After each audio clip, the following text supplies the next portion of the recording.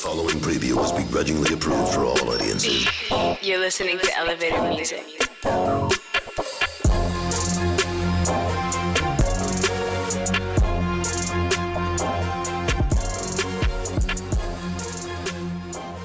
Welcome back to Forward Thinking, presented by the Professional Collegiate League. I'm Ricky Volante, and I'll be joined by my co host, David West.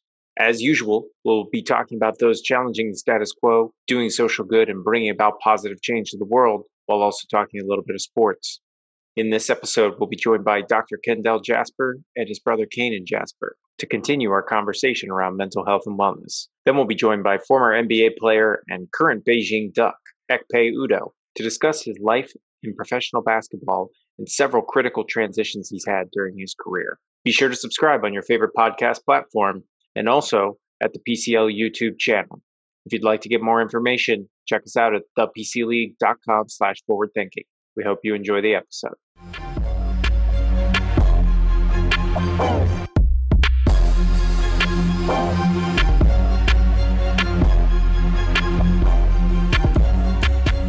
Welcome back to Forward Thinking. We're now joined by Dr. Kendell Jasper and Kainon Jasper, better known as Doc and the Dude. Thank you guys for joining us today. Thank you for having us. Thank, thank you for having us. For our viewers and our listeners, I think the best place to start is just to tell us a little bit about your background and the work that you guys have been doing in the in the mental health and wellness space. So I am Kendell Jasper, as you said, licensed clinical psychologist. Been in uh, as psychologist, licensed psychologist now since 2004. Originally from Brooklyn, New York. I have a background in athletics, being a former college athlete. So a background in pretty much all facets of mental health. I've worked residential, I've worked psychiatric hospitalization, and let's see, 11 years ago, we decided as a family to open a community mental health agency born out of my private practice and uh, ARJ, which stands for Acceptance, Responsibility, and Judgment, was born. So ARJ, since that time, has expanded to having offices in North Carolina, South Carolina, and in New Orleans, Louisiana. You know, along with providing community mental health care, my athletics background has led me back to also providing services and doing consulting and programs for the NBA and the NFL, such as the rookie transition program, some of the team meetings, sort of being on call when there are issues, very much doing the same for the NFL as well. So, and Nike, and I'll let Kainon speak a little bit more to some of our affiliation with Nike and, and some of the different travel AAU basketball teams across the country that we've done some work with. Yeah, so piggybacking off of what Kendell said, he definitely came with an idea of wanting to start our own thing. He said because currently the way mental health is being addressed, it just really wasn't talking to us in the way that was effective. You know what I mean? They would send him on like almost rogue missions when when something happened with a person of color or it was dangerous. They'll send him out there to try to talk people down and and get them off the cliff or whatever, and then they send them back to the same protocol that wasn't working for them to begin with. So when he came to us, he was like, he came, I think he came to me first and he said, look, we could do this ourselves. And I was like, we? And he was like, yeah, you know, because we need money. So mm-hmm. as a family, um, we came, we came together and, you know, put some dollars together. And then once, once, you know, I'll be perfectly honest, being involved in it at first was a fiscal decision. But once your money is involved and money is involved, you start paying more attention. And you start seeing, wow, this is a world that I totally knew nothing about, and forces you to get closer. Now you you're all in. You have to learn it. You have to dive into it. Now I'm participating in uh, offices. Now I'm learning more about therapeutic methods and spending a lot more time with him. And him being a doctor, me being right there next next to him, I'm learning a lot at a very fast pace, which thrusted me into that business too. So we came up with a, a unique hybrid program that addressed things from a clinical perspective as well as a regular person because I could say things, very real stuff that he, you know, he may, might be you know, a little bit limited on. And so those standardized protocols that you guys previously dealt with, part of what you guys have been doing is taking a little bit of a non-traditional alternative methodologies to reach not just you know again that standard standardized protocol setup uh, yeah. could you go a little bit into those yeah. non-traditional methodologies well, well I, I think that and i'll take a page out of my brother's book so there are a lot of non-traditional things that are going on right technology has put us in an age of sort of non-traditional communication, non-traditional access to information, non-traditional interactions with each other. So we have to respond to that, and things are fast moving, right? And and I am not your, you know, to, to speak about me personally, I am not your traditional doctor, licensed psychologist, right? I grew up in with crack in the '80s in East New York, Brooklyn. Who very much thought that my way out, even though I was getting educated and my parents preached that, I thought my way out was just like every other black kid from the ghetto. I was going to get out of here with my athletic prowess, right? This is going to take me out of here, right? I get a free pass in the neighborhoods because I'm good at sports. They recognize me. Leave Kendell alone, right? He's got a future with football, basketball, baseball, whatever he going to do, you know. So I find myself taking a non-traditional path, and then I realize, listen, not everybody is made for the traditional come and sit on my couch and talk. First of all, from a cultural perspective, most black folks not going to sit on anybody's couch. Your right. grandmother don't even want you to sit on her couch, right? So why the hell am I going to sit on some man's couch? In most cases, that looks like a middle-aged white man or white woman, right? To talk about what my issues are. Believe it or not, what you come to find out when you get this far into it is the therapy process is what you make it. Right. And and we, me and the person or or us and the, the people that are sitting across from us dictate within certain parameters what that process should look like. Right. We we right? show we show up anywhere. Like we we we show up on your block. We show up. There's often times where we gone into certain neighborhoods, and then we ended up turning the situation to, into group therapy because more times than not, if a person is infected, then that area is infected. You know, you can't treat a person and send them back to a, a sick environment. So if, if you are in the in the city somewhere and we need to show up, we show up and then we turn it into what it what it needs to be.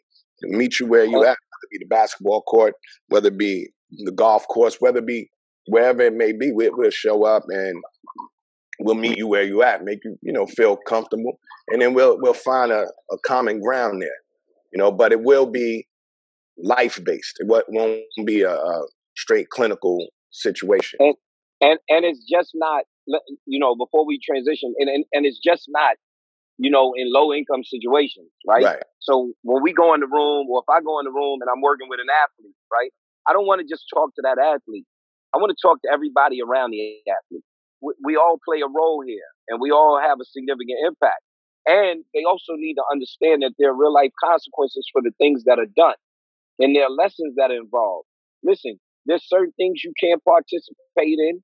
They don't want to meet you. They want to meet him.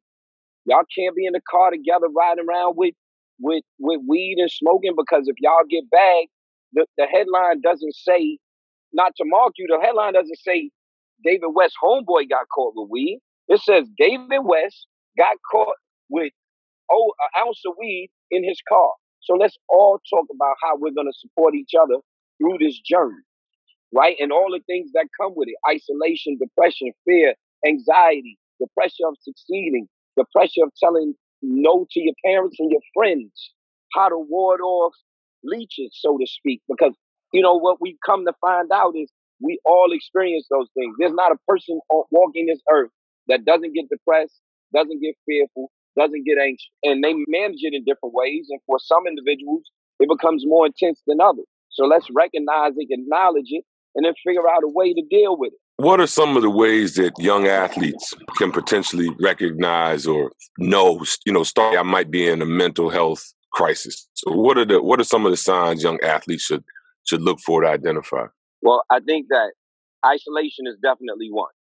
Okay. Right. I, I think that and and that doesn't that doesn't necessarily mean isolation or feelings of loneliness when you're by yourself. You can feel lonely and you're in a, you're in a crowded room with people. Right. Right. You know, athletes are big on routines, and they're they're very big on getting into routines that lend themselves to their success. If we see a break right. in your routine, right? If we see a break in your sleeping habits, if we see a break in your exercise regimen, in your eating habits, if mm-hmm. we see a spike in your irritability, an inability to express yourself without having some form of an outburst, right? or becoming somewhat more recluse, that's a sign and a signal. Relationships. Yeah, I was about Uh, to go there. Now, like You know, your your, your relationships are changing. Absolutely, people have the biggest misconception, and you can speak from personal experience. But they automatically think that once athletes aspire to a certain height and experience a certain level of success, that the Right. world becomes a perfect place for them. Right. No, they, they are their world is, is is not any different, and it may be at times a little bit different because there's more pr- pressure associated with that success. I'm, I'm gonna Right. jump. I'm gonna jump in from a, you know, the taboo conversation. Overindulgence. You know, a lot of lot of cats. You start overindulging. You're, you know, obviously substance abuse could be one way, but Right. even even opposite sex. You know what I mean? If you're a professional athlete, you pretty much been, if not famous, you've been focused upon since you probably was around 11, 12 years old. Right. That's when you started separating yourself from the pack.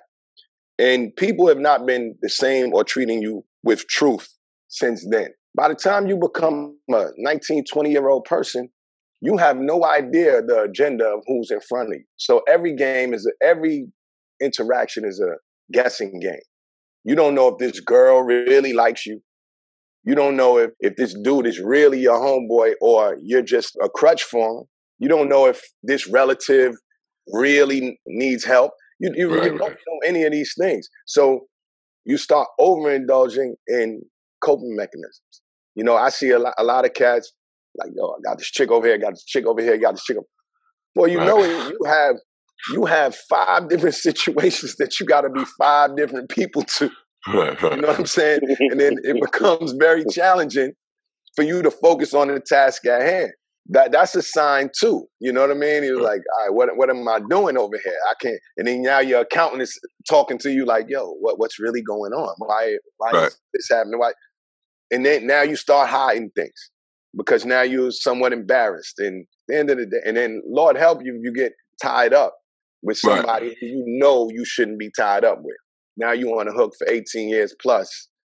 So so there's there's a lot of things that that happen that are tell signs. So a lot a lot of our young, you know, we we interact with a lot of young athletes and stuff. I'm like, yo, slow down, Slim. Slow down. Right. Trust me, that girl, when she leaves, she she's in somebody else DM. You know, she knows right, everything right. about you. She knows everything to say to make you feel comfortable for that time. Trust me, Right. you know, that's a dark room you're going into. I've always I always asked that question because while I was in the league, we didn't really start focusing on mental health till like 2012. Mhm. So that most of my career was done. That I was already nine nine or ten years in before we even got the first team colleges, and that was in Indiana. And even then, a lot of the conversation, you know, it's always that taboo just around if you, you know, if you talk about mental health and you look, you seen it soft, you know, when I was mm-hmm. young growing up, you know, my coaches were like, now you just deal with everything. You get hurt, you deal with it. You know what I mean? You, Man somebody score on you, dunk on you. Yeah, you just man up, you deal with it. So, I mean, I, I felt the challenge of it because I was kind of on that fence of trying to figure out, am I being soft because, you know, I might be obsessing. You know, when I was in New Orleans, I used to obsess you know, over beating certain people. And to the point where, you know, it was drive. I couldn't folk. I, I couldn't wait to play against somebody. Like, so for instance, we didn't beat the Mavericks my first three years in the NBA. And so I remember like literally just go having these episodes where I'm like on the edge. I'm like, yo, I gotta, you know, because Dirk Nowitzki at the time is like the standard at the power forward position. I'm like, yo, I gotta get through this cat, and it was it was driving me crazy. It forced me to Sure. like I'd be over fouling. I'd be like, you know, going too hard in practice. Coach, like, yo, you got it. And I didn't realize it until years later. That's what I was dealing with. Like I had this this anxiety about trying to prove myself. So I think it's good, you know, anytime athletes can hear like what those signs to look for really really good because um the stigmas and this will be ne- part next part of my question is what are the stigmas like how do you how do we get rid of some of those stigmas around mental health and and the taboo around it? I, I would say some of what we're doing now, right? Because having a conversation about it, talking about your vulnerabilities doesn't make you weak. It just makes you strong and it makes it it makes it known, right? So it's truth telling. So if it's the truth, I can't get embarrassed about what that truth is. So if you come later to me and you say this is your truth and attempt to embarrass me, Guess what? We already crossed that bridge. Everybody knows that. Right. Come with something different. What's interesting about what you said though is I tell athletes this all the time. The same resiliency that you show on your playing surface, it, it doesn't stop once you're in the locker room or at home. In a basketball game, you could turn the ball over, get back on defense, get a rebound, come down, shoot an air ball, come back, block a shot, come down and get a dunk. Right. Right? So you've had success and failure in a 50 second period. Right. Those failures didn't stop you from getting back and preparing yourself to be successful with a rebound, a block, and then a dunk. So how do we transition that into your real life? Because the same tools that it takes to be successful there are the same tools you can use to be successful off the surface. Part of that is about the preparation. Part of that is about what you would call your film study on self reflection, knowing yourself, studying yourself, understanding what your triggers are, understanding the, the environments that you're most successful, right? And continuing to be in those environments, and then maybe work on how you transition to success environments that you're not that very successful. Mm. One one Right? thing I'm I'm gonna add to that. Kendell spoke about understanding who you are and knowing your truth. One thing that's very obvious about athletes is their size and how people deal with you because of your size and how you want Mm. people to perceive you. You know what I'm saying? You six you you six ten, right? Six No, eleven, six six ten, nine, six nine, yeah. six nine. There's no way you hiding in the room. There's no way, right? So people already have their assumptions about who you are, what you do, and what you should be like. A lot of athletes, they they shy away from their truths, their size. You know what I'm saying? Like one of the reasons I love Shaq is Shaq never apologizes for his size. Right. You know what I mean? If Shaq want to get on the floor and break dance, he going to break dance. He'll be just a seven foot two, 350 pound break dancer. He Right, going to do it. You know what I mean? Right. But that allows him and everybody else to feel comfortable because that's really who he is inside. A lot of people start, you know, deviating from who they are because of their size and it basically self inflict some trauma on you because now people are reacting to your insecurities. Mm. One of the things that we have to teach athletes or that we do tell talk to athletes about is being comfortable with your own self. Six nine, do you six nine? I know that chair is made for a five foot eight dude. you know what I'm saying? Don't sit in it though. like Right, right. you know what I'm saying? Like, Hey, care- careful, bro. I'm five nine and a quarter. You ain't gotta throw five eight. You ain't gotta throw that Alright. type of height, man. Careful, big time. all right. Hey, what you trying You trying know to what do, I bro? mean. You know what I mean. Yeah, Right. six but you gotta guys, man. impress. I mean, you gotta really put the emphasis on who you are and becoming comfortable with that Right. because it makes the entire environment much Yeah, better. that's, But that's but that's how you get that's how you get through the stigmas, right? Obviously, there's stigma associated with mental health, and that's what makes people shy away from going to see someone, right? Nobody wants to be thought of as crazy, needing to needing to be on psychiatric meds. We always the first kind of vision we have of someone that has mental illness is someone in psychiatric hospital, you know, restrained to a bed or in a straitjacket. Mm. That's the imagery. If you go on social media right now and you look at some of the sites that highlight mental health awareness, it's someone looking disheveled, right? Hair all over the place, Right. not looking like they have it together, right? So that just perpetuates that imagery perpetuates the stigma. Individually, you get a you get away from that stigma by being comfortable with who you are, Mm. right? Their perception of you, whatever a person's perception of you is their perception of you. You have to manage who you are. And even if you want to be perceived in a certain way, not everybody's going to perceive you in that way. So ultimately, I have to be comfortable and figure out a way to be comfortable with who I am, acknowledging my strengths, my weaknesses, my vulnerability, and you know, figure out a way to to, to overcome and be confident in that space. And mm-hmm. then I I get away from the stigma. Listen, I, I battle depression. What does that mean? What's your perception of me understanding that I deal with depression and anxiety? right? That's a question you ask Yeah. somebody. also, be careful on who you're taking your instruction from. Just because somebody claims that they're in a space, I'm in mental health, I'm in a listen, you have to take validated information. Start with knowing the difference between a psychologist and a psychiatrist. There's, you know, they're two totally different things. one is a medical doctor, one obviously is a clinical doctor. A lot of people don't know that. So mm-hmm. people say I'm feeling a certain way, and the average person to say, "Oh, you need to go see a doctor. You might go need to see a psychiatrist. You may not need to go see a psychiatrist. Maybe you need to see a therapist. Maybe you need to see a clinical psychologist to help you understand your thought process more. Because for me, I'm not taking advice from a patient.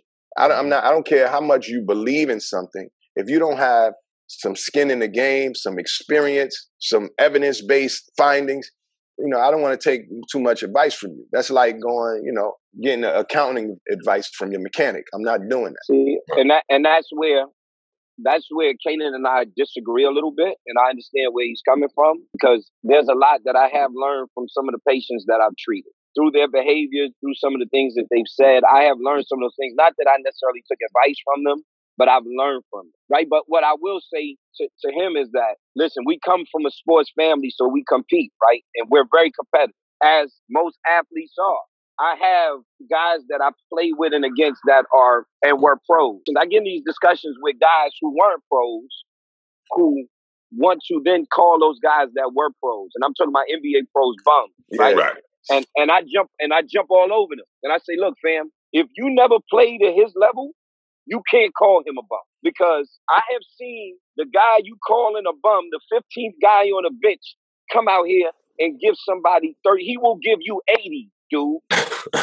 right, okay? Right. He will give you 80, son. So, in the same sense, I didn't come this far and, and call myself a doctor and have a terminal degree for someone then to say, you're not qualified to do this, or then try to get at me in a certain way. Not that I'm above reproach, but listen, fam, we we not you're not where I am. You know, let's have a little bit of deference and let's have the conversation in a different way. And you also have to realize it's very dangerous for you to be giving advice to someone yeah. and not understanding the liability associated with it. And until you've dealt with a situation where you've been on a call or you've been at the hospital and a patient of yours has committed suicide and you realize there was nothing really that you can do about it, but you still have to live with that. Until that happens, what are we talking about? No, mm. I, you know, I, I that gets my motor running. You know what I mean? Like I, you know, I watched Cat. Nah, uh, I know, told him. I said he was five nine. That got his. That got his. nah, don't listen. I, listen, but I was alright though. You know, you, was, you know, you know I, I, could go get it a little bit. You was little, know, little like, guy. You was little, little guy. Yeah, yeah. you know, you know I'm gonna give a dude a shout out though. Mark Hedgerson, right? Mark Hedgerson went to Kansas State, right? Mm-hmm. We played we played Kansas State, and my big man Demarco Johnson made it to the league, right? And I love Marco, but Mark Hedgerson was him and Marco was second round draft picks, right? And they was like, "Yo, right. this guy's gonna be a pro." Mark Hedgerson gave us thirty seven, like hold all of these, and I'm like, man, what in the world is going on out here? Like right. before the game, you like, nah, this dude ain't no pro. I was like, oh yeah, yeah, he he he a little different. He hitting a little different. Like my, you know, my pro track is like in Turkey or or Iceland. Right. I'm saying lacing this thing up, up. You know what I mean? Right. To be explicit, just because this is something else that David and I brought up with our other guests, is that especially when it comes to youth athletes and youth athletics, what it sounds to me like you guys are saying is that the mental health and mental wellness component needs to be taken as seriously as the physical condition of athletes Absolutely. because the whole athlete is what's performing on the court, not just the physical person. Absolutely. I mean, you know, all of us being former athletes here, we understand that there's a time that separates the men from the boys.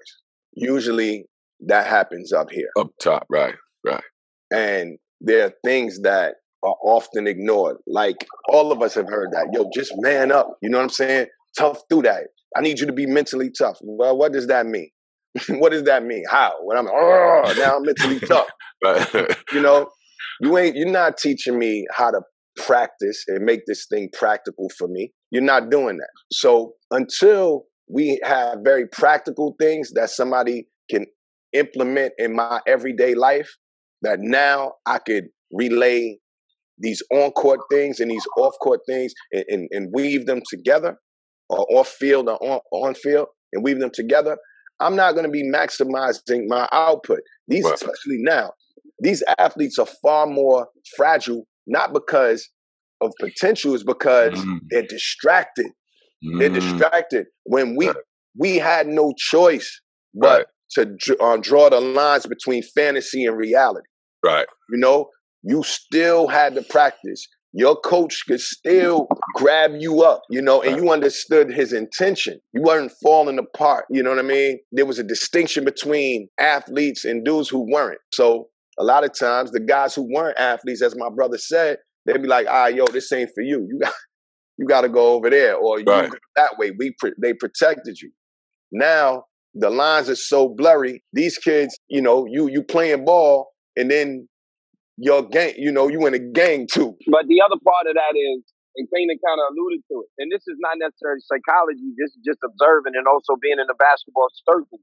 Who's coaching these kids? Oh, Right. right? Everybody on on here has had a good coach who has taught them something about life, right or wrong, Right. right? Because most good coaches understand life. In order to be a good coach, you got to understand life to a certain degree because you got to understand how to how to treat people, right? How to interact with them, how to hold people accountable, how to hold yourself accountable, help them become responsible young men.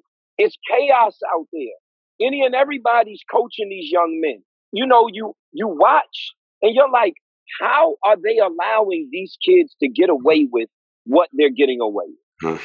right? The the level of emotion that they're showing, right? The inability to manage themselves, to organize, to think through difficult situations, to quit in the moment on their teammates and their team. What are we doing? Allowing mm. one kid to be so selfish that the other kids are pretty much statues. That's not that's not any game. And it's not just limited to basketball, but right. you know, you you have to understand that we're preparing them for success because the majority of them will not have the success that they're looking for on their playing surface. And what are you going to do then? How Right. do you transition into something else? And How do you have mo- the confidence and the courage to say, you know what, I'm going to put this down in this moment of self reflection? I recognize that this is not for me. It's not working out, but I'm not a failure. Mm. I'll just take up a new challenge and make an attempt to succeed in, in something else.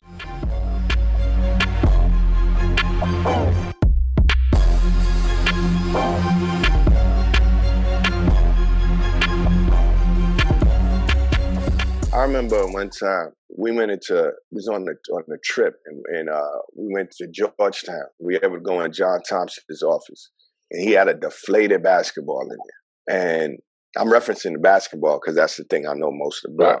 He had a deflated basketball in there, and his question was big hands. He was like, "What are you going to do when the air runs out?" And that was a very a scary statement because who who are you outside of this, and what are you doing to like you you go to practice for hours, work on your physical and stuff like that. But how are you strengthening yourself? How are you becoming more educated, more aware of your surroundings, more aware of the subtle hindrances and and might I say enemies that are in your circle?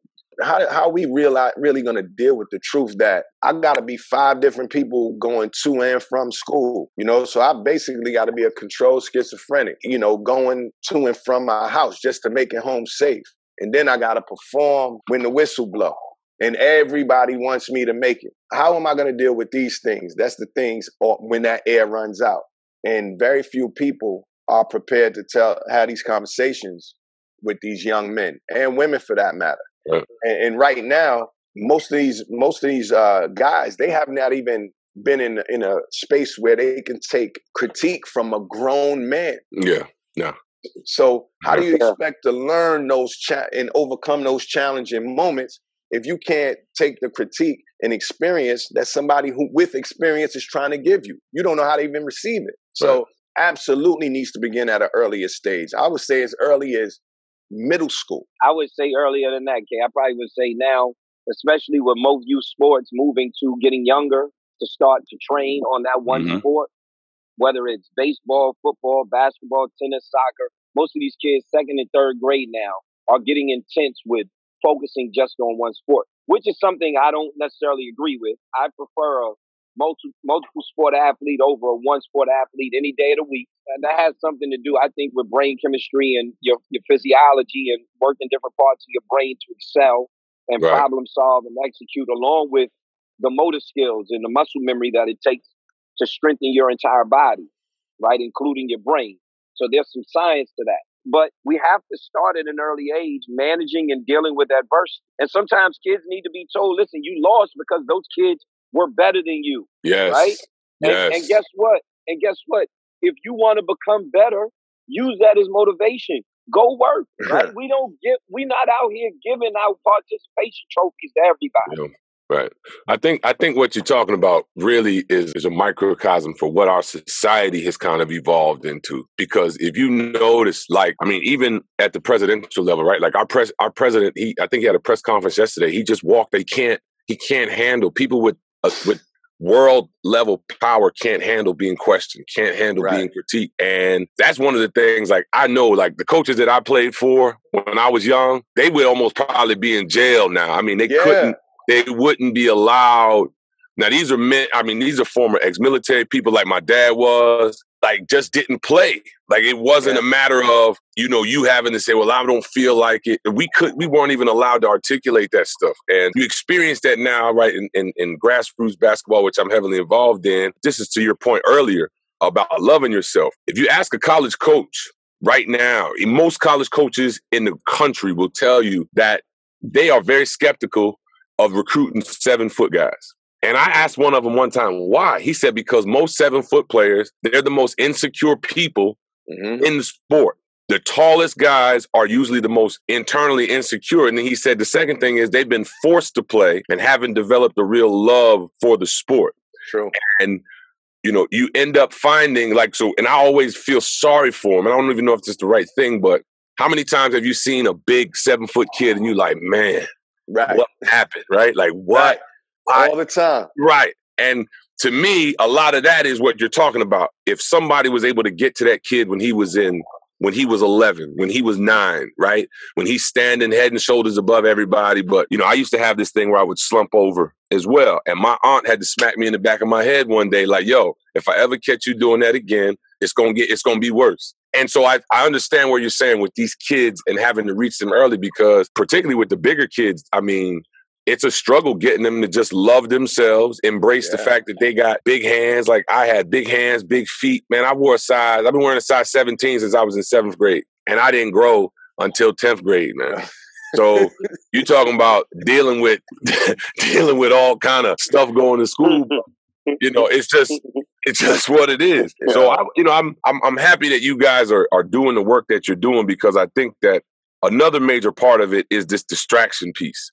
And that's what I want to ask you now. So how do you work and this is even for the pro athletes because I was in the Warriors locker room and Steve came in one time and he lost it because I'm from the old school. Once the game start, my phone is off. But like this new age of guys, yo, every time guys go in the locker room, it's in their phone. They looking my at Twitter, they looking at what people are saying about their performance in the first half, and it's it it becomes a distraction. So what what do you, what would you tell athletes now to deal with the distraction?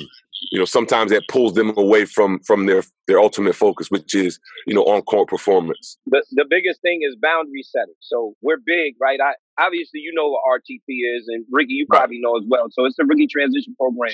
Every year I do the RTP. I get 13 to 18 rookies come in the room. You got the NBA, NBA Players Association. Rex Chapman came last year and talked about his opioid addiction.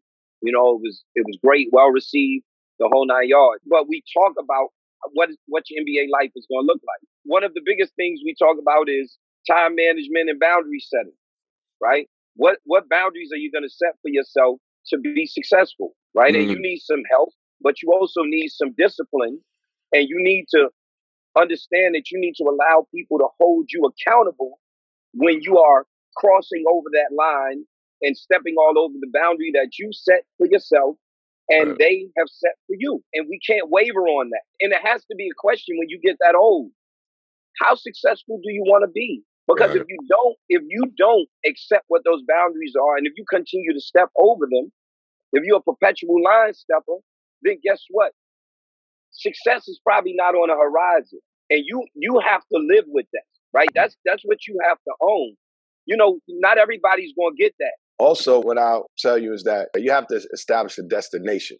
Again, certain experiences uh, allow you to to do this. But again, another trip we went on in high school, we went to the Boston Celtics practice. I, I lied to you not. Larry Bird literally practiced going from a catch to a triple threat position. He probably did this for about an hour straight on the side. So when we got a chance to ask questions, he was, you know, I asked him, I said, why, why, why were you doing that? So he got one of our guys. He got up and he he passed the ball five times. Five different times, dude was in a different position when mm. he got came to the triple threat. He said, "Look, I'm I'm not the fastest guy in the world." He said, "I I don't have I'm not having time to think about where the ball is where when I catch it. I already have to have memory to where I need to go with this thing and catching the ball and getting it right in my hands is not one of the things that I want to think about when I'm mm. about to do my thing. So putting that in real life, he made something a practice, a habit, because he had a destination. So if you have a destination, you simplify the, choices. Is something going to be helpful or harmful getting me to this destination? Even if, so, to the point where it's, it's down to even picking up my phone. Right now, I'm in the locker room. Is this helpful or harmful? If it's one or two things, it's an easy question. You think this is helpful? But when I got to go play this game, nah, put right. it down. It's harmful. You simplify the situation, you make that a practice. Now it's something you don't even got to think about because it's in your routine. And you're like, all right, right now I'm on this destination and this don't fit over here. So putting this now. Unfortunately, what I will say is that even with that being said, because of changes to athletes and the response to it, mm-hmm. we're probably going to get to a point where they're probably going to allow some of that to happen and they're going to be time limits on how often you can check it. Right? Right. So Cliff Kingsbury, he comes to the NFL. One of the things that he institutes is he allows his guys to check their phones. He he has phone breaks. Ah, uh, okay. For them in meetings because he recognizes that he's dealing with these millennials. Right, right. And if it, you know, if you can't beat them, join them. So the other part of that, on the opposite end of it, is everybody has to adjust. Everybody has to adapt to what's going on because, as you know, you may lose the guys, and if you lose the guys, they're the most important commodity anyway. So we've got to figure out a way to to kind of compromise and say, okay, well, maybe during games we won't do it, but maybe we'll have some breaks you know, game time is is all about our focus and being locked in. So before and after, we're gonna institute this policy, and that's that's how we're gonna manage it. Right. You know, when we're in film sessions, we're gonna break. We're gonna allow you to to engage in that process because I thought what he did, you know, made a lot of sense because he recognized I'm dealing with a group of 19 to 22 year old guys in here, and that's all they know. It's become you know, it's easier for us to put our phone down and not look at it because right. we lived during a time when we ain't had one. Right, right, right. They haven't. So most of them, since they were three years old, three or four, they've been sued yep. by some form of technology. Some of that is about being able to compromise and understand it's checkers and not chess. Chess, not checkers. chess, not checkers. I'm sorry. Mm. Appreciate the pickup, big bro. But at the foundation of it, we should always be working on how we manage ourselves, our emotions, right? If we can, the choices that we make, the, the consequences of that, and being able to live with them and understand that, right. you know. And also recognize that a lot of times what prevents us from engaging in a behavior or having an opinion or or doing something is we're concerned about what someone else's perception of what we're doing is going to be, and that limits us. Mm-hmm. I'm so concerned about how you're you're perceiving what I'm going to do, even if even if it's for me and my health. I'm not. It took it took literally it took me watching Karl Malone to start shooting jumpers in the NBA. Like I had a coach had to come tell me, "Yo, you got a completely wrong view of how this thing is gonna go, and your career is not gonna go the way you think it's gonna go if you don't change." And I'm like, because I had been bred like you a big man, you got to score at the basket, you got to score right. in the paint. But the reality was I wasn't big enough physically and strong enough physically when I came in the league to do that. So it took me literally like I said, okay, I gotta accept the fact that I'm gonna have to shoot 15 to 17 foot jump shots that make a career for myself. And I can't worry if somebody says, "Oh man, you floating out to the perimeter." Man, I can score at the basket, but I'm only 225 pounds right now. Shaq 315. Absolutely. And you know what I mean? These are, so it's crazy what you're saying because a lot of times we find ourselves just adjusting. And in in my case, it was, yo, you need to change the way you literally play, and you can't worry about how people are going to perceive your game because you need to create a career for yourself. destination.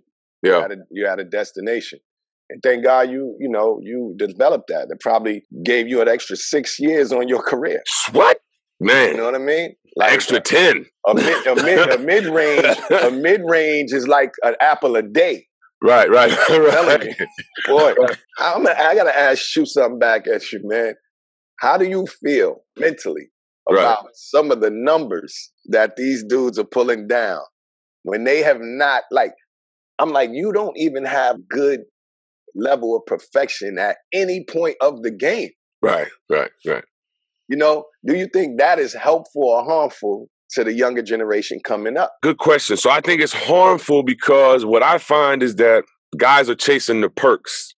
So all these perks that come with right making the NBA and being successful. So they tend to focus on the perks. And so when you see guys, I outlasted guys because I was like, to hell with the fame and the fortune. I gotta have real production on this floor. And the impact that I leave on a team has gotta be far beyond just a highlight. It's gotta be on the court, the intelligence of the team, on court performance, the toughness of the team, how sound we are in the locker room. Those are the things that I allowed to sort of follow me around the NBA as I took on my journey. I don't think that guys now understand that because we live in like this clip society from social media, you got guys who are overachieving and put, getting put in places that they shouldn't be. Some guys fall victim to it. Some guys adjust. Some guys figure it out. Some guys, you know, the worst thing that guys deal with in coming in the NBA is getting attacked. And I think one of you guys said it earlier from the time you like nine to you 18, 20, everybody said, oh, you the greatest, you the greatest, you greatest. You get in the NBA and you're facing this 31 year old man who's on the second, you know, second to last year of his deal, and he knows he has to have a really good game. He has to dominate you, and he goes at you. I've seen more careers in that way than the other way. Ah, So. I think that guys end up seeing the perks, seeing the reward, and they overlook the work that's right in front of them. And oftentimes they end up getting caught. That's why you end up with a team like ours, where in Indiana, we had one McDonald's All American. Everybody else was ranked 200, ranked 300, not, you know, Lance Stephenson was the only All American we had on the whole roster. wow. Uh, yeah. Paul George wasn't all American. No, Paul George actually was told he wasn't going to play in the NBA. Was Yeah, told he wasn't going to make it because again he was a taller guy. He wasn't embracing playing inside, but he ain't no big man. I got it. Yeah, that team. Yeah. That's a tough. That was tough. Yeah, but again, it's like it's that it's that question of when you see, you know, I I, I listen to all these people talk about how the mid range right is a bad shot, taking you know mid range jumpers is a bad shot, but it's hilarious now because we're watching this last dance thing, right? All we're watching is Michael Jordan be successful hitting, literally the greatest player hitting mid range Right. jump shots, right? Right. So it's always this thing of like perception versus reality, right? Right. I, you know, tell these young cats all the time, like, yo, if you think you're getting 30 alone on offense, you're sadly mistaken. You Right. need some steals, you need some putbacks, you need some break. On offense alone, that is damn near impossible to do that. And, and you're gonna burn out. Right.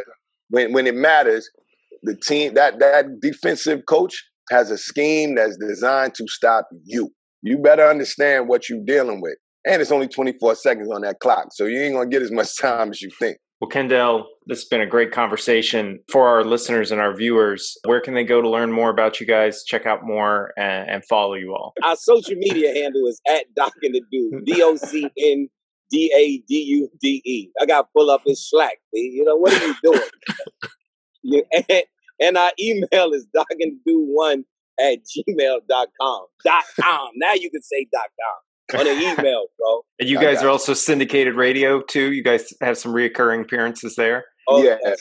We do some stuff on, on like uh, swaying in the morning, uh, Breakfast Club. and then Morning hustle out of Atlanta, DeDe in the morning. you know. And we're, we're starting our personal thing that we'll be beginning. We'll be shooting some episodes this week off the rails, and where we talk about an array of issues, and we got real life people real life situations. You know, I know everybody right now is live, everybody live with the Right. celebrity thing. Some of our friends happen to be celebrities, but most of the time, what we getting at is real information from real validated people, and we can relay it. And hopefully, it's it's good shareable information that's going to help. We'll be putting out information starting this week, and hopefully, you guys can help us share the work. Absolutely. I got one more question for both of you guys. Morning morning routines. What what what kind of morning? What is the first thing you guys do when you hop up in the morning? First thing for me, before I move at all, before I get out of bed, some sort of breathing routine, right? Deep Right. through the nose, slow out through the mouth. I try to get at least between 30 seconds and a minute in, you know, before you do anything, because breathing is a very good detergent of, of thoughts that of clutter or a lot of things, you know. So before you start receiving things, you got to clear some things. It just, you know, it's not enough room. That's that's my daily before when I morning and before I go to sleep. Good deal. for me, when I- when I wake up, I usually engage in in some form of a quiet meditation, and it doesn't last very long. Usually, like a minute and a half for me, two minutes max, and then I will get into the notes in my phone and kind of accomplishments for the day, short term, long term accomplishments for the day, even down to the very simple things that we don't think are successful for us. But if we've accomplished something and we've set out to accomplish it, then we're training ourselves to complete those tasks and then acknowledge the success associated with completing even the simplest tasks because it's good practice for you. I try not to have more than five to 10 things on that list to accomplish and work through them and then go back to it, kind of remove it from the list. And then also, just from a, I think that it's very important, believe it or not, we get up in the morning, should at least have one or two glasses of water. Right. There you go. That's my that's my first thing. I I, I chug chug about sixteen to twenty ounces of water as soon as I wake up. Just turn my body Very on. Yeah. important. Very important to drink some water. We underestimate how important the simple things from a Mhm. nutrition standpoint Right. impact. As Ricky Oh. drinks some water, I got you, Rick. See? And I, and I, I oh. stretch. I stretch. I stretch. You know, occasionally I'll get into a, a form of a kata or something, but I stretch for sure. You know, I maintain heavy flexibility, and more times than not, people don't understand it. You don't get sick. You know what I mean? You don't. You don't have those ailments when you work those kinks out. And fortunately enough, been pretty healthy. Well, we appreciate it, guys. It's been awesome. Thanks, Thank fellas. man. We appreciate the time, man. Thanks for having us, man. And We'll I'm be quite- back at I'm y'all. quite-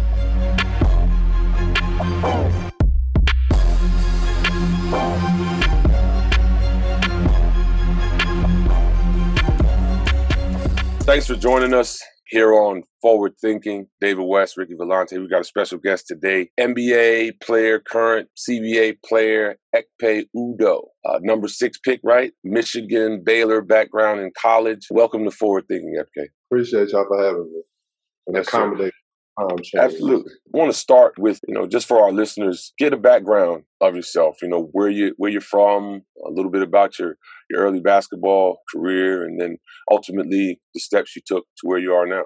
Yeah, so my, my whole name is Ekpedeme Friday Udoh. My parents are Nigerian, Right. both from Nigeria. Dad came over first, and mom followed my older brother. They settled in Edmond, Oklahoma. That's where it all started. Signed a uh, student visa for my dad to go to school. Church did. And Okay. He's been to church ever since. So that that's been my stomping ground. From there, grew up, won a state championship, went to college at the University of Michigan first. At first, I didn't think I was going to go to college because I I didn't get my ACT score, so I was actually thinking about going the prep school route. So I was actually still playing like spring basketball my senior year, Okay. and then I, you know, got my ACT score and was able to go to University of Michigan. First year with Tommy Amaker, then he got fired. John Beilein came in. He was a coach. We were terrible. It was just a different change, and I wanted to get back closer to home. And that's why I decided to transfer. We had some choice words and some conversations that I'll never forget. And, and Baylor ha- took that year off, you know, due to NCAA rules. Right. Came out that year on fire. We were able to make a make a run to the Elite Eight. Lost to Duke. Realized my dream. Got drafted uh, by the Warriors, sixth pick, and I was with the Warriors, Bucks, Clippers, went overseas a couple years, which I, I would say changed my life because I was able to just you know get outside the American bubble. Right. Uh, just had to sit down and deal with Right, myself. right. So that was cool. Came back, played with the Jazz for two years, and now now I'm in China. Good deal. What was that transition like from Michigan to Baylor uh, for you as a as an athlete? It, it wasn't too bad because one of my one, one of now he's my best friend. He came with me from Michigan. He's my manager, agent, all of the above now. So he came to Baylor with me, and I knew a couple of the guys that went to Baylor before I got there. So that was cool. Sitting out the year, that was tough. Travel with the guys, that that was definitely tough. But the adjustment, I think, was more so probably the university size. Okay. Like Michigan is thirty thousand plus, and then Baylor is like ten thousand. The cities were were, were, different. So that that was the biggest difference for me. I know you mentioned it, and I, you don't have to to go as deep, but how was that coach's reaction when you made the decision to go from? And I'm No, only asking you because of who the coach is, so I just want to know what that was like, you know, making that that choice, and what those conversations were like.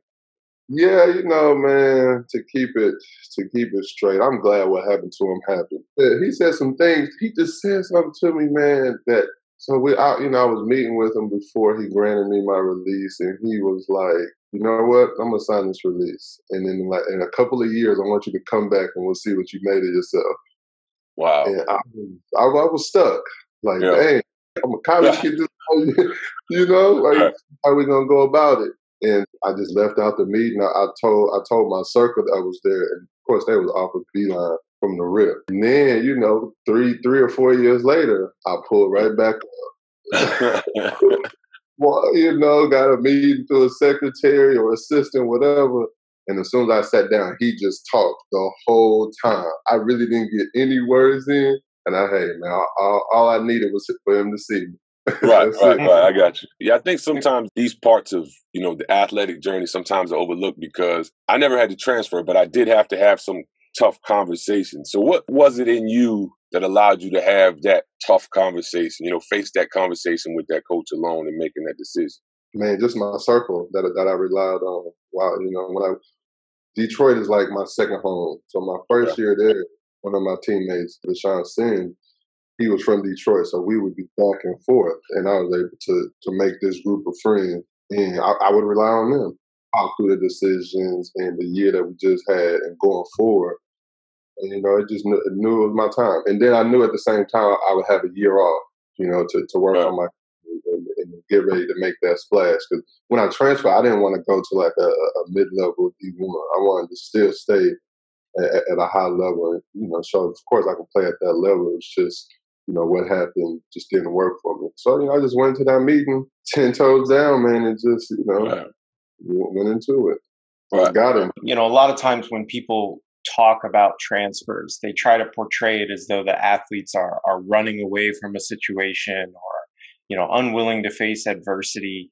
This may be a little bit of a leading question, but do you feel like that's unfair of how athletes get portrayed during that process? Definitely. I mean, especially when you, don't have a conversation with that athlete on why he's, you know, making the change.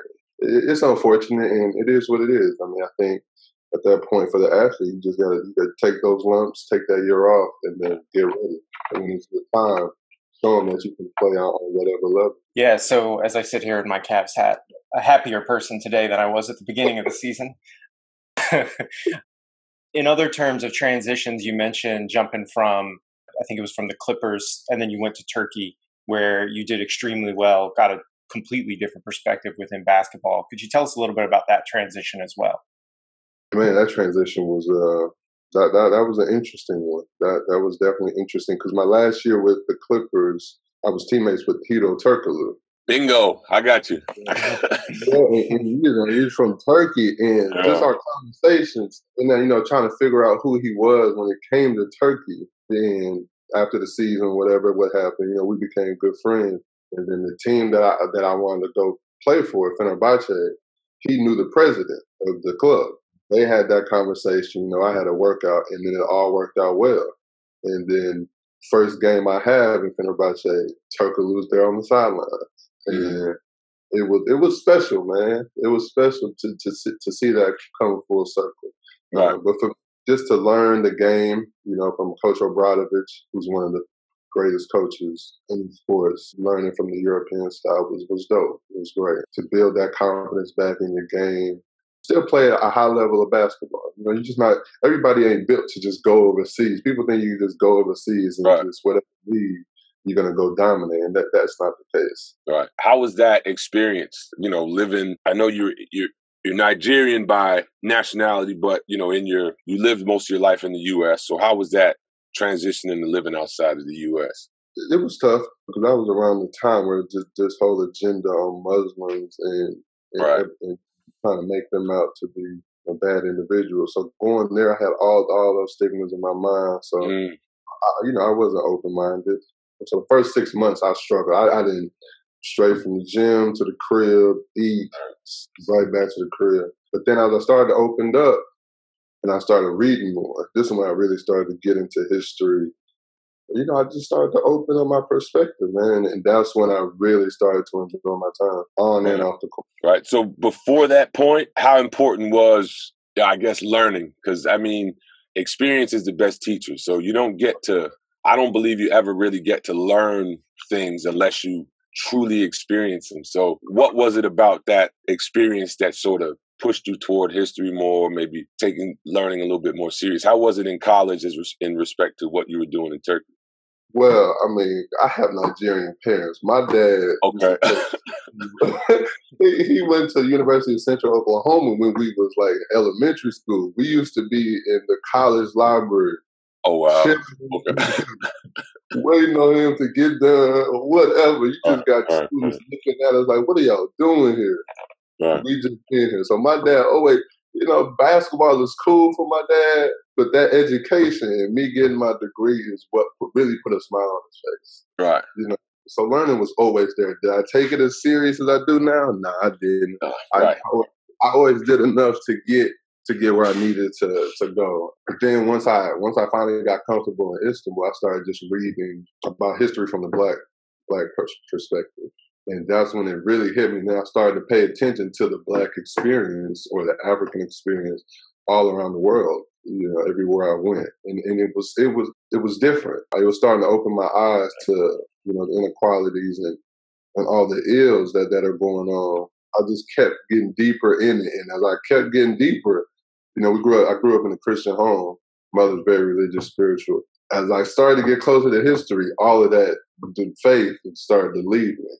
Right. So seeing how it was used, you know, in religion, you know, to take over a group of people. So that even though it was great that I was learning, I was I was going going away from my faith and not even dealing with it, like, you know, just because of what I had learned. How did basketball help you? Like where does basketball fit in that context? Because i've always like i've had that struggle just dealing with keeping basketball in a certain context but then understanding the reality that we live in.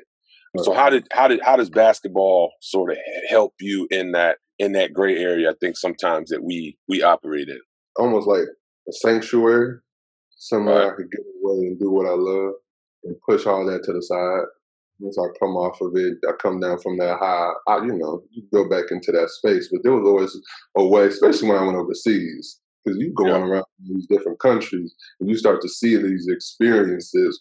You see how crazy these fans are.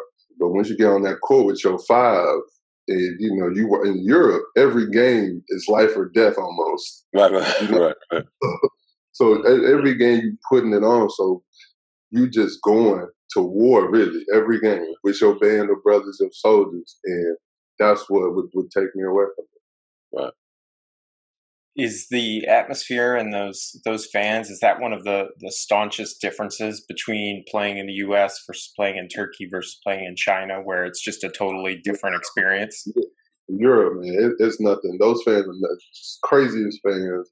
You can take you could take college you can take NFL, uh, NBA, MLB. You can put them all together, and you still wouldn't get yeah. there. Nah. You know, it's it's almost impossible. And overseas as well, they overlook these things. Like these fans are really, you could say they're they're racist. You have racist fans, and I guess they don't really understand the connection between being racist and you know you having a black player, but then the black player on the other team they say whatever, but then go rooting for you uh, uh, because you're on their team. You're, you're making their life. Their club, the clubs over there, it's like that is their life, and they will literally kill you. I had a, a teammate of mine played in the Euro Cup years ago. This is probably like my third or fourth year in the league. And after we didn't make the playoffs, I went over to, to experience like the Elite Eight. I'll never forget it. I mean, the drums, all the instrumentation, it's just a constant, you know, just like I guess a constant cheer that's going on. I, I didn't even understand.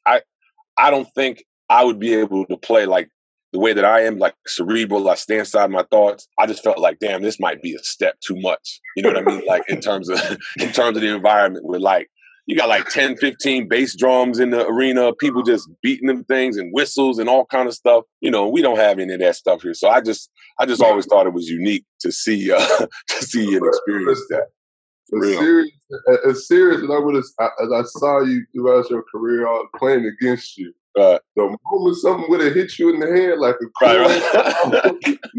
you might have lost it. You know, uh, that, that was that throwing stuff was big, man. Yeah, like, I don't yeah. you remember uh well, one of my teammates in Fenerbahce, his name was Gigi Datome. Okay. Yeah, I remember Datome, yeah. Yeah, so we were playing one of the rival games. We were on the road and in the I think it was the third quarter, going back and forth. Next thing you know, he gets hit with an iPhone charger, the end piece. Ooh. He's bleeding from the middle of his head. I'm talking. So they they paused the game, went to the locker room, and, and once they paused the game, they just started throwing whatever on the court. Water bottles. They was throwing milk wow. on the court. They was going crazy. Paused the game for like 15 minutes and just got on the fans, and then we came back out. We got the, the fans still there. Yeah, it's it's a it's a whole different whole different experience, you know, playing over there. But I, like I said, I think for the most part, guys who experience that, you know, obviously, you know, get to evolve in a way that sometimes, you know, guys who don't ever experience playing in those environments do. What what, what was the NBA's role? And again, I've always been, I've always sort of appreciated you from a distance, you know, because you you're willing to, you know, talk about reading and just not shy away from this other part of you that, you know, obviously in, in the basketball and the sporting world is not represented often, right? Like somebody who can articulate their thoughts, somebody who understands the value of education, somebody who able to think outside these these really sophomore headlines. So what was that experience coming into them? Because I know what my experience was like being somebody that was like I got hooked into history at like 17, 18 years old. And, you know, when I got to college, plunged myself into it a little bit more, coming to the NBA and it's like, hmm, you know, I had I had some thoughts. So what was that what was that like for you? You know, it was at first I was just trying to you come into so much money, you know, right. you just living the life. So I really didn't get I really wasn't reading at that point. My right. my, my guy would send me articles and different stuff and I would I would get it that way. You know, it's funny, we 2011, 11, 12, I think it was the summer, Billy Hunter was fired. We were in Vegas. We were going NBPA meeting and they had the three candidates to be the, the next president. Yeah, I think it was two women and one one male. In that meeting, they did their spiel, and at the end of every meeting, you were sitting. Uh, oh yeah, yeah. yeah, yeah, yeah, yeah, yeah, yeah. This is when I was like, "Dang, I wasn't really thinking about this type of stuff." And you and you would always ask that question. Yeah. Well, now you ask that question. You know, what do y'all think about group economics, and how would y'all, you know, how would y'all add that to you know, for us, for our right. benefit. And it was crazy because when you said like people were snickering on my side of the room because they didn't really understand what you was talking about. Like if you're on another level, and then to see like the the candidates, they couldn't really speak to it. Right. right. And then, then you and I was like, dang, he is as serious as he is, man. He's very intellectual, you know. right, right, right. Yeah, I remember that. And looking back on it, it the whole Billy Hunter all that that's that stuff was crazy. But as I started to get more into it, and I started a book club while I was in Milwaukee. That was like my third year, and I didn't really start speaking out until after Turkey. Like Turkey was what changed my life. You know, being able to speak out wow. and have these conversations. When I came came back into the NBA, when I was with the Jazz, we started reading different books. Like last year, last year, we read the autobiography of Malcolm X. We read mm-hmm. a book, Heavy, by Kiese Laymon. So we were reading all these different type of books and having these conversations. And it, it, it, to me, it was special because I was building these these communities, and if these were books that they never thought to read, right.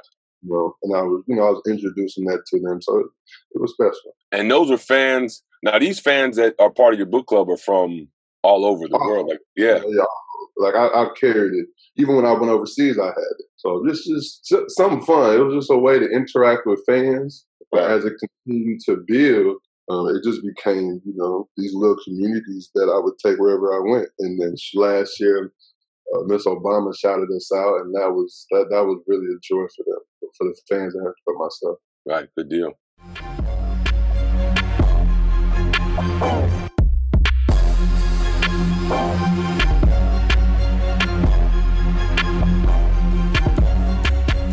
Now you're in Beijing, as you, you mentioned at the very beginning. What's been your personal experience in, in dealing with everything that's going on right now and the overall interruption of sports? Man, getting to Beijing was the longest travel day of my life. I left. We flew from LA. Me and me and the trainer, he's from the states as well. So we left LA. I don't know what time. I just know we got to uh, to Beijing at four thirty. I'm sorry. From the moment we landed for our layover in in Vancouver, it seemed like life changed. Walking through the airport, we're starting to see people wearing the, the, the hazmat suits, goggles, masks everywhere. From the moment you got to the gate, you had to take the temperature. You had to fill out these forms. You get on the plane. During the flight, it was like three times they came up and they checked your temperature. I had to wear the mask the whole flight buddy sitting next to me had the goggles on and the big mask. And I'm like, man, what am I not taking this serious enough? Like right. what's going on? And then when we land, the processes and the systems that we had to go through just to get to where we're being quarantined took almost 12 hours. Mm. That's how serious it was. So that was a journey. And then getting into quarantine, quarantined for 14 days, staying in like a, a, dorm style room, not being able to take a step outside of your dorm room or they coming to get you. It was it was brutal for me, you know. And the whole time we thinking we're gonna start playing April 15th. But you know, you you, you trying to stay, you lifting weights in your room. I'm running door to wall, trying to do some type of suicide to stay, just right, trying right, to right. up. And then like the third or fourth day, they're like, "Well, we're sorry, but we postponed it. We postponed the season." So then all of that went to hell. I just said, well, I'm just gonna relax, man, and just, wow. just read and relax. And then everything just get getting postponed. We get out of quarantine. I posted on Instagram you know, how happy I was just to step outside. Mm-hmm. Those 14 days that that did a number on me, just with some things that were going on in my life, and then having to actually sit down in a foreign land and you know deal with myself. So that that was great. And then ever since, man, we just been just been practicing, waiting, and every every day it seems like, uh, well, we might start the season here, then it gets pushed back. It's every day like that, and just waiting. And then you know you see it all across the world with league, different leagues and stuff.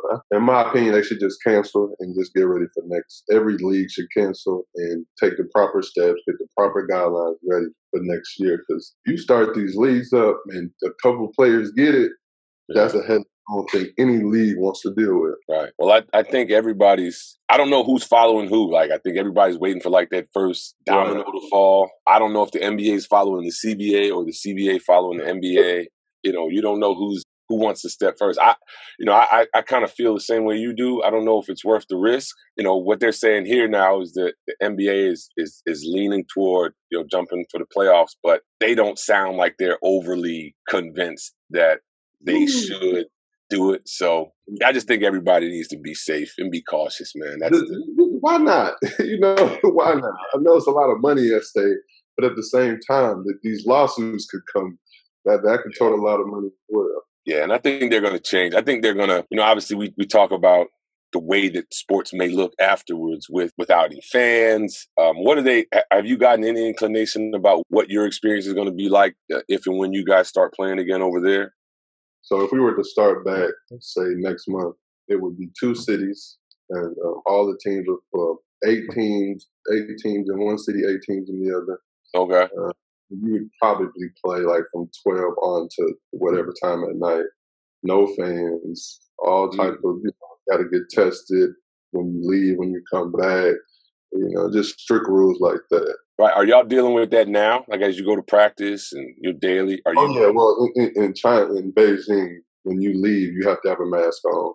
Every building you enter, either you know they're taking it physically, your your your temperature, or you're walking through some type of scan, and then you have an app that you have to show that you have no abnormal you know conditions. They're on top of it. Right.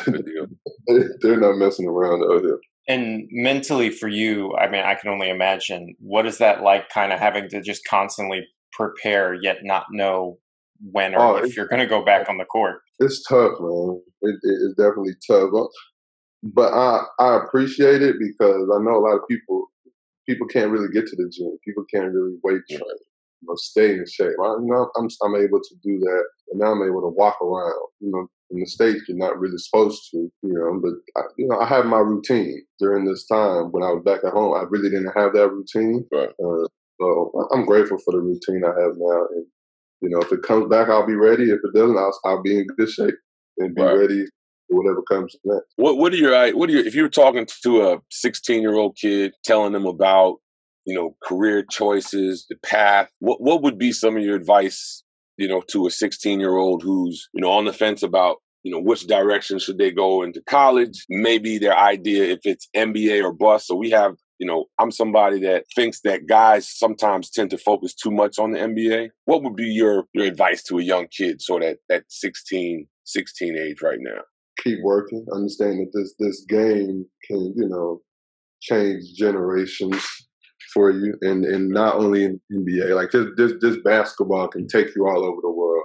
Right you know, if you handle your business, you stay on top of it, this basketball can take care of you and your family. I would tell them the whole college route, you know, it's changing now. So, you know, I, I'm not big, but if you do want to go to college, I would say get a meaningful degree. Like, don't go to college just to mm. just basketball. Get something from that education.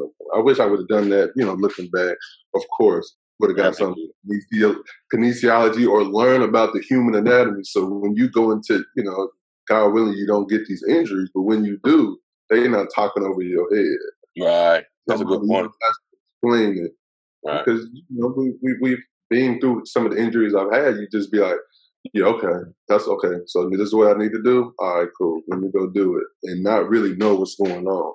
So I think that, that, that that's important to, to really try to get educated on something, learn about this money, learn about different trades, different things that you're interested in, and then just do your work wherever it takes you. You know, continue to try to improve yourself. College isn't the end all be all. The NBA isn't the end all be all. But just continue to work, and time will tell. Right, that's a great point. Ekpe, something I like to ask all the players that we've had on here is: Do you feel like your additional interests off the court have helped make you a better player on the court and a better, well-rounded person? I would say more of just more of the well-rounded, being able to have a conversation with anybody, not just being all basketball all the time.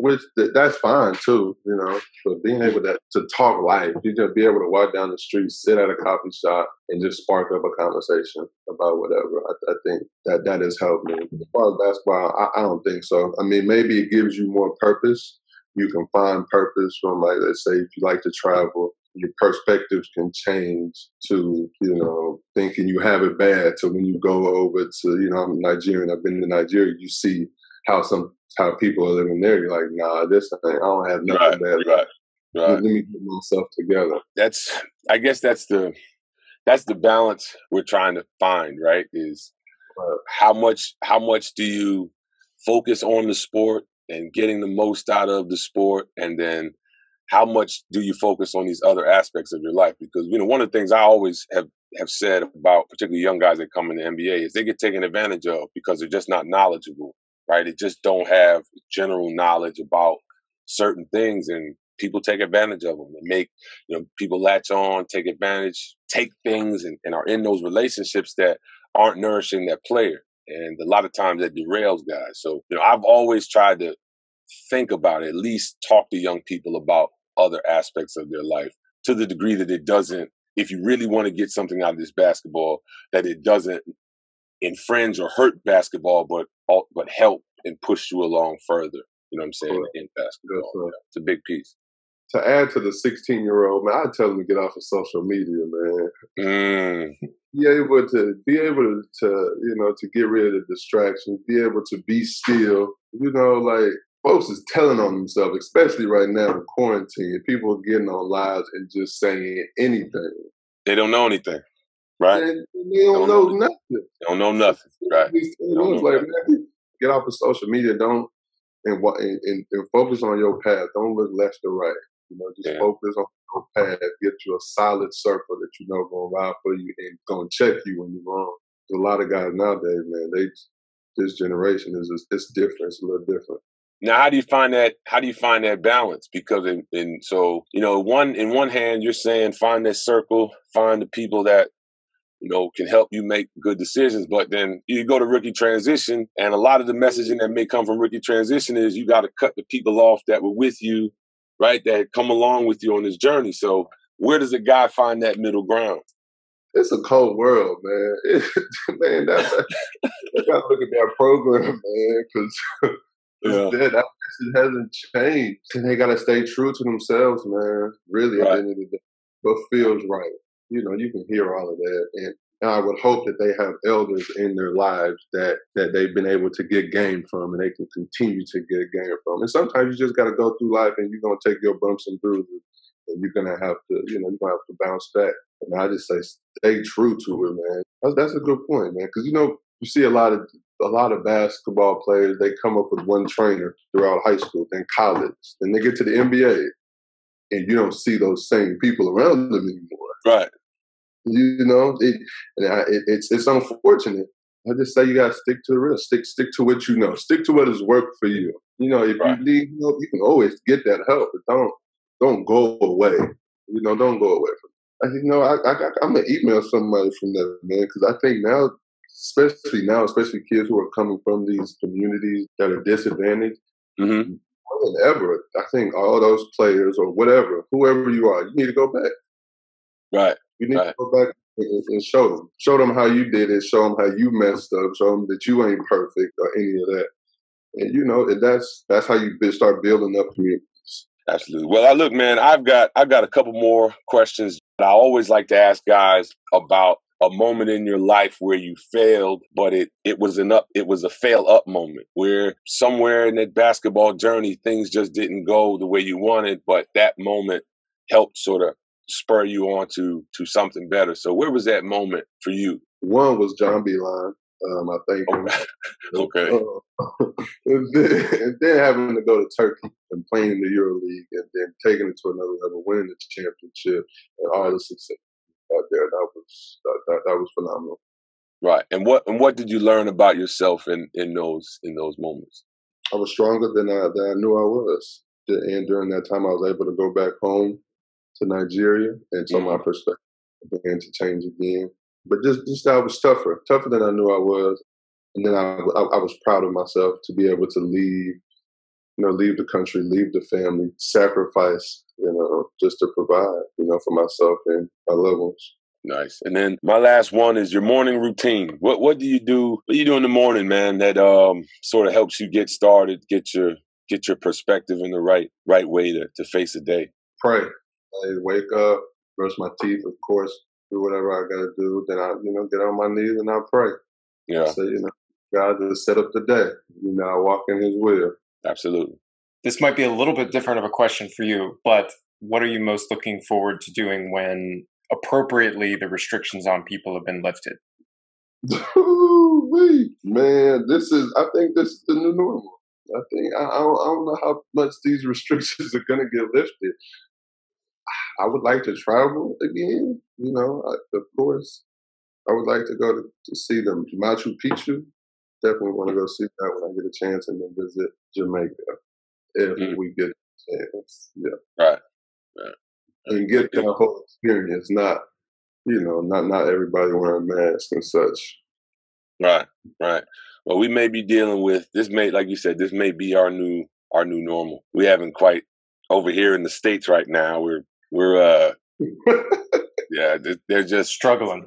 yeah, struggling, man. These folks are just doing as they please, and um, we'll see. You know, we'll see what what what comes of this on the other side. But man, I'm I'm I'm so thankful that you joined us, man. We know it's been a whirlwind, you know, and I appreciate the time, man. Like I said, I, I appreciate you from afar, man. Just so you know that, man. I've always respected you, and once I once I find guys that think and kind of you know use their whole capacity, man, I always become a fan. So I'm rooting for you, man, and uh, wish you the best as you continue your basketball journey, man. For sure. Appreciate that, man. Thanks again, man. I appreciate y'all. Appreciate you as well. You definitely look slim. Um, yeah, man. Yeah, man. I don't have to. I don't have to carry all that weight. I don't need that two sixty five no more, man. I don't need it. I don't need it, man. All right, Ekpe. Thank you. All right. We appreciate, appreciate it, man. man. Thank you.